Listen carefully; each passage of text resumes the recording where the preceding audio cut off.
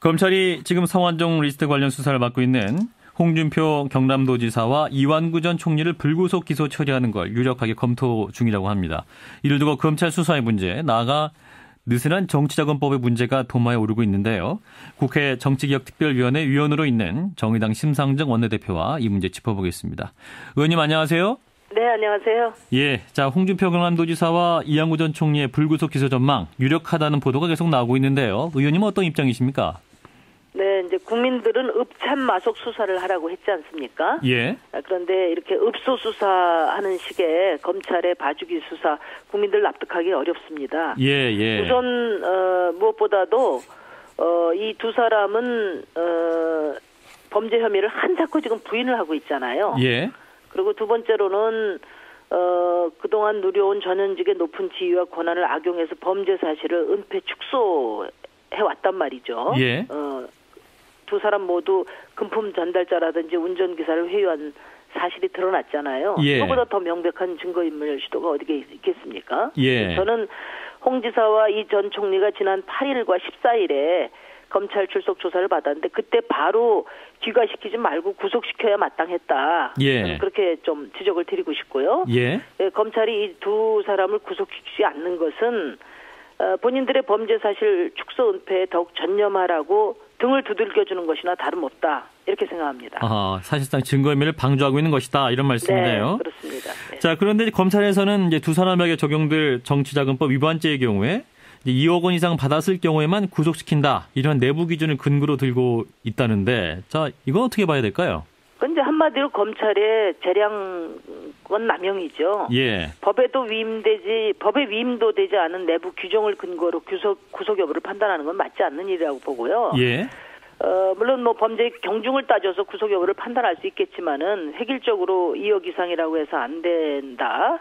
아, 2억 이상이라고 정해서는 안 된다고 보고 그럴 근거도 없다고 봅니다. 예, 를 예. 들어서 절도죄 같은 경우에는 빵 하나만 훔쳐도 어, 구속할 수 있고 실제로 그런 경우도 있잖아요. 예, 예. 근데 정치자금법 위반의 경우에 2억 원이라는 기준을 정하는 것은 그건 형평성에도 맞지 않는다. 또 실형이 나올지 안 나올지는 법원이 판단할 문제입니다. 예. 어, 액수만이 아니라 죄질이나 또그 이 부패 척결의 절박한 시대 정신, 국민 법 감정 이런 걸 고려해서 법안이 판단할 문제를 검찰이 왜 미리 예단합니까? 예. 그것은 잘못됐다고 봅니다. 예, 따라서 검찰 일각에서 나오고 있는 정치자금법 위반 액수가 적기 때문에 실형 가능 실형이 나올 가능성이 적다 이런 논리도 옳지 않다는 말씀이네요.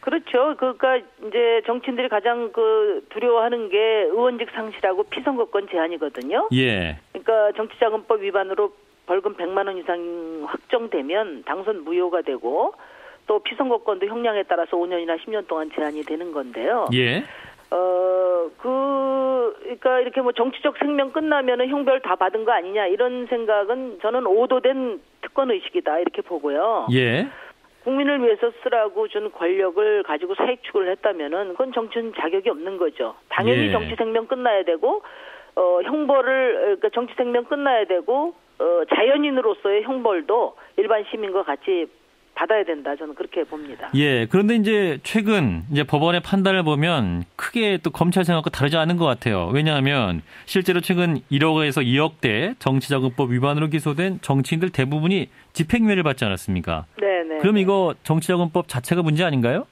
아, 문제죠. 그러니까 이렇게 그 유전 무죄뿐만 아니라 예. 어? 유권 무죄 권력 있는 사람은 어 저 무죄다 하는 이게 반복됐기 때문에 에, 지금과 같은 어, 이런 충격적인 전대미문의 부정 어, 저 부패가 발생한 거다 저는 그렇게 생각하거든요. 예. 그래서 어 그 이 문제와 관련해서는 한, 하나는 뭐 정치자금법도 손을 봐야 되고요. 예. 또 하나는 이런 권력형 비리를 근절하기 위한 어, 수사 기구가 아직도 지금 우리는 마련돼 있지 않습니다. 예. 작년에 특검법이 통과가 됐지만은 그게 에, 성역 없는 수사를 위한 상설 특검 기구를 만드는 데는 실패했어요. 예. 특검 절차법에 불과합니다. 예. 저희 정의당은 그런 절차법은 있으나 마나한 법이라고 반대를 했는데 예. 저는 이번 계, 계기를 통해서 적어도 우리 대한민국이 깨끗한 어, 그 정치로 나가기 위해서는 이런 권력형 비리가 그 터져 나올 때마다 무슨 성역 없는 수사니 부패 척결 의진이 이렇게 하지 말고 예. 반드시 그 이 권력형 비리를 수사할 수 있는 상설 특검을 그러니까 기구 특검을 이번에 예. 도입을 하는데 여야가 힘을 모아야 된다는 점을 좀 강조드리고 싶어요. 예, 그렇군요. 그러니까 지금 보면 이제 정치자금법 처벌이 왜 이렇게 가벼운가 이런 문제도 굉장히 많이 지적되어 있기 때문에 네. 이런 부분에서 이제 어떠한 수사기구라든지 이런 새로운 방법이 필요하다 이런 말씀인 것 같아요. 그러니까 수사기구 상설 그 특검을 기구로 두는 법도 빨리 통과를 시켜야 되고요. 예, 예. 지금 말씀하신 것처럼 어, 손방망이 이 처벌 정치인들에 대한 어, 그런 그 어, 차별적인 그 특혜 이런 것들을 과감하게 에, 뿌리 뽑는 그런 정치자금법 개정도 필요하다고 봅니다. 예. 자, 그런데 또 현재 그 새정치민주연합의 한명숙 의원도 이제 네. 9억 원을 받은 이제 불법 정치자금을 받은 혐의를 지금 받고 있지 않습니까? 네네. 그리고 현재 불구속 수사를 받는 상태고 또 재판이 네. 진행 중이기 때문에 그렇다면 한명숙 의원도 구속을 했어야 했다고 보십니까? 그러면? 저는 뭐 어떤 특정한 어, 특정한 어, 정치인에 대해서 어, 특별한 어떤 판단을 해야 된다는 것이 아니고요. 예. 어, 뭐 여든 야든 그게 예. 누구든 간에 에, 저는 이제 에, 일반인과 똑같은 에? 그런 기준을 가지고 구속 수사와 또 형량과 어, 또그 이후에 어떤 피선거권 제한이나 이런 것들을 엄격히 해야 된다는 해야 된다는 말씀을 드리는 거고요. 예. 일반인들보다 더 엄격히 해야 되지 않겠습니까? 예, 정치인들은 근데 이제 예를 들면 없어야 아까. 같은 뭐 2억을 기준으로 예, 어? 예. 이렇게 그 저, 재량권 남용을 한다든지 특히 이번에 이제 이완구 전 총리와 홍준표 지사의 경우는 또 한명숙 전 총리하고 좀 차이가 뭐냐면은 예. 가장 핵심적인 게 증거 인멸이거든요. 증거 인멸. 예. 그 동안에 이제 그 이완구 전 총리 같은 분은 국회에서 국민들 앞에서 어, 거짓말을 밥 먹듯 어, 해서 어, 국민들의 분노를 산 바가 있고 예, 예. 또 지금 검찰 수사 어, 과정에서도 에, 수사가 진행되는 과정에서도 뭐 어, 자금 전달, 금품 전달자나 운전기사 예, 예, 알겠습니다. 회유 사건들이 명백히 드러났기 때문에 알겠습니다. 이제 이런 것들은 이제 형사소송법에서 증거 인- 인멸 인멸 우려가 있을 때는 구속한다는 것이 기본 원칙 아니냐 이거죠. 예, 알겠습니다. 그리고 이제 네. 현재 이 가운데 나오고 있는 최대 정점이 기업 후원금을 양성화하자 뭐 이- 이런 얘기가 좀 나오고 있습니다. 네. 그러니까 이제 성한정전 회장 같은 경우도 여야 동료 의원을 상대로 이제 제3자 독원 혹은 후원금 쪼개기 방식을 통해서 금품을 살포했다. 뭐 이런 의혹도 나오고 있는데요. 이러한 심각성의 공감대가 좀 형성돼 있나요? 그 저는 어 우리가 선진 정치로 나가기 위해서는 많은 국민들이 소액 다수 후원이 활성화되도록 제도 개선을 해야 된다는 게 올바른 방향이라고 보고요. 예. 법인과 단체의 정치자금 후원 허용은 이에 역행되는 일이다. 아하. 그러니까 법인과 단체는 바꿔 말하면 기업 아니겠습니까? 예. 이제 기업의 정치자금 후원을 허용하면은 고비용 정치 구조를 조장하고 또 정경유착을 불러올 위험이 있습니다. 예. 그리고 이제 특정 법인과 단체라고 해서 그 구성원들이 모두 정적 견해 같은 건 아니잖아요. 예. 그런 점에서 어, 개인의 정적 기본권을 침해할 수도 있다 이렇게 말씀드리고 싶고요. 이제 법인 단체 정치자금 후원 허용의 명분으로 쪼개기 후원금 같은 걸 없애겠다는 거 아니겠어요? 예. 어, 근데 쪼개기 후원금에 대한 제도적 보완책은 그 법인 단체 정치자금 후원을 허용하지 않고도 얼마든지 할 수 있어요. 예를 들면 투명한 회계 보고를 법으로 의무화하는 한- 그런 방안 등으로 이걸 보완을 해야 되고 예. 이제 에, 법인 단체 정치자금 후원을 하면 아마 기업의 정치자금 총 비용만 늘어, 늘어날 가능성이 있어서 예. 기업에게도 좋지 않다 그런 지적을 드리고 싶습니다. 근데 이제 현실적으로 보면 이제 기업 후원금 문제가 현재도 토론회, 공청회, 네. 법안 발의와 심의 등 의정 활동을 빙자해 가지고 기업이 네. 강요를 안 해도 여러 모양으로 이제 상납하는 구조를 갖고 있다. 이런 지적도 있지 않습니까?